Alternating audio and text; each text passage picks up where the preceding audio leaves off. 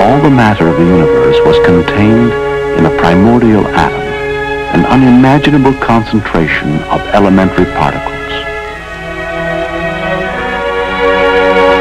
In one gigantic detonation, the contents of this cosmic fireball were hurled outward in all directions.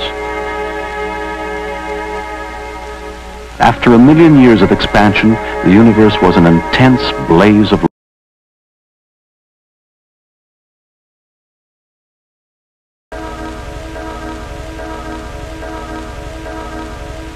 thermonuclear reactions that transform hydrogen into heavier elements.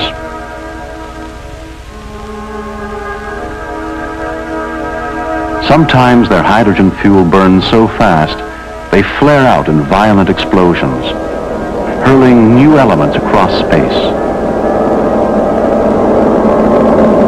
Like a great wind, the radiant energy of starlight drives these clouds of dust and gas throughout the galaxy.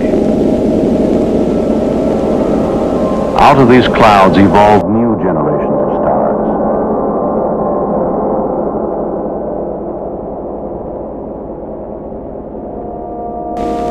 More than half left left and reflects them down a light shaft that extends 300 feet below ground.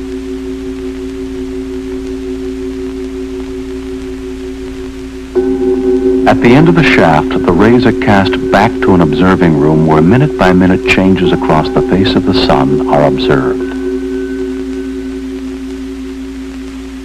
Another mirror projects a light beam to a spectroscope, an instrument which splits the light into its component single line of the spectrum. Each level of the solar atmosphere can be photographed